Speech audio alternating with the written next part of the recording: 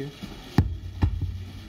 Works and other doesn't work so that we can inform policy and this is one of these. Dakle, što se tiče Republike Hrvatske, ona će žurno poduzeti sve potrebne korake kako bi brzo i bezuvjetno uskladila zakon o pravosudnoj suradnji u kaznenim stvarima sa okvirnom odlukom o Europskom uhidbenom nalogu. Ovo ukidanje, znači vremenskog ograničenja koje je onemogućavalo primjenu Europskog uhidbenog naloga na djela počinjena prije 1.7. kolovoza 2002. godine, omogućit će da se Europski uhidbeni nalog primjenjuje na sva kaznena djela neovisno o datumu počinjenja.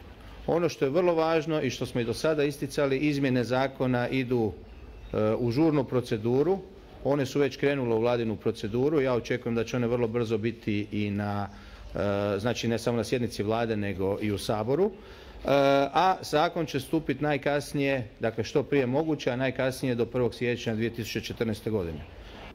Okay. I think this time we really finish. So. Well, the European Commission welcomes the steps taken by the Republic of Croatia to ensure that criminals are brought to justice.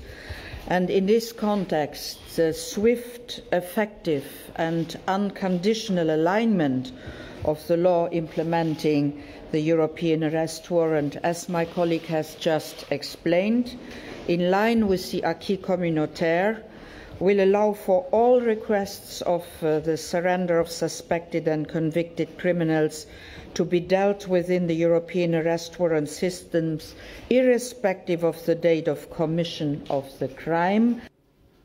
Please. Uh, given that there's a kind of estimate, can you give your estimate? The minister explained me today that uh, he will enact uh, all necessary legislative changes swiftly and unconditionally.